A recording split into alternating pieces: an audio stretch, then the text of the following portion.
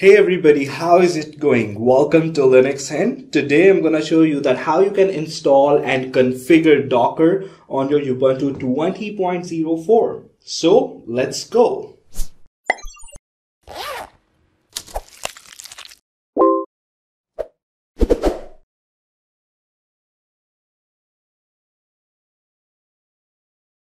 So Docker is a container that works on the basis of platform as a service software application. It uses virtualization technology to provide isolated containers for software and tools. These containers use well-defined channels to communicate with each other. I'll show you the easiest way to install Docker on Ubuntu 20.04 and get it running in less than 5 minutes.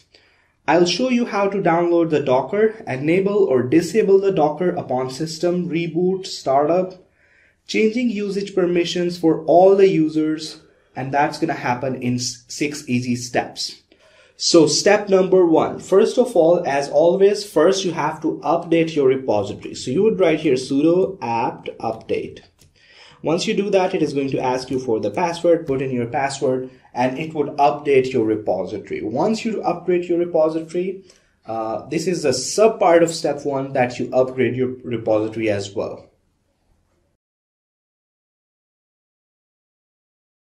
Alright, so once you have updated your repository, now you are going to upgrade it as well. So you would write here sudo apt and then you write here upgrade, okay? Hit enter and now it would upgrade the repository. So press Y. So it will take some time, so we'll wait.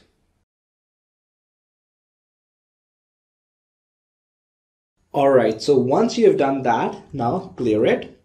Now we move forward to our step number two.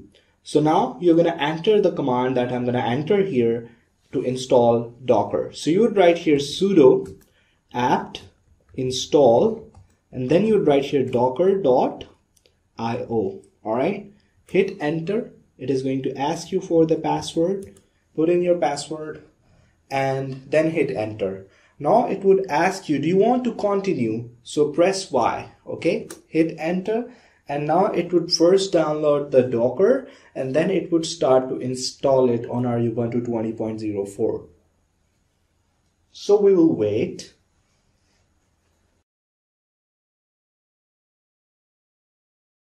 Alright, so now you can see that we have installed Docker using the command that I just showed you.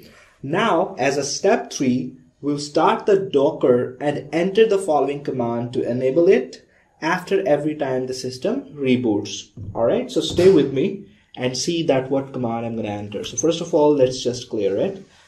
So now I'm going to write here sudo systemctl enable hyphen hyphen now and then I'm going to write here docker okay? So now I would hit enter and now you can see that it is creating the system link and now it has been enabled.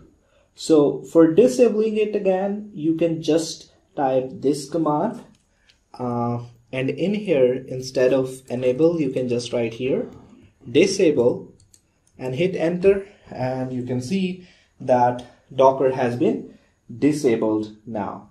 Okay so as a step four, I'm going to show you that how you can give privileges to any user in order to use the Docker. Okay. So right now our user is S Linux Hint and there is another user in our system which is Linux Hint. Okay. So if I could show you my current directory, you can see that the user is S Linux Hint. So automatically the privileges are already uh, given to the S Linux Hint user. But we also have Linux Hint user. So let's see that if we want to give the privileges to that user, what would happen and how would we do that? So we'd write here sudo and then we'd write here usermod hyphen a capital G and then you're going to write here docker and then you're going to write here the username which is essentially linux hint in our case okay so we hit enter and you can see that it has not given us any errors which means that the uh, user has been switched and changed okay? So docker privileges has been assigned to linux hint user.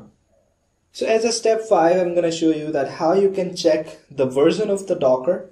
So in order to check the version of the Docker, you'll just write here uh, Docker and then you would write here hyphen hyphen version. Okay, so this would allow you to see the version, uh, which is in our case is version number 19.03.8. All right. So as a step six, I'm going to show you that how you can test the Docker by running a command. Okay. So let's say that we want to run a hello world command and what would happen that it would open a container to run the hello world program.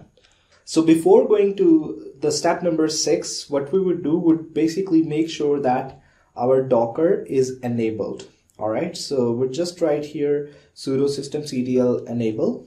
Okay, so now uh, we have made sure that it is enabled. So now what we would do would just run another command sudo docker run hello world. We hit enter and you can see that it is trying to run hello world and now it has pulled it and there you go. So hello from docker. You can see that this message shows that your installation appears to be working correctly. To generate this match message docker took the following steps. And now these are the four steps that it has explained. And uh, it has given us few commands here to try something more ambitious. You can run an ubuntu container with docker run hyphen it ubuntu bash okay so that's how you can basically test the docker. Obviously our docker is running right now. That's why it was able to pull the details pull the docker container of hello world. Hope you have liked this video.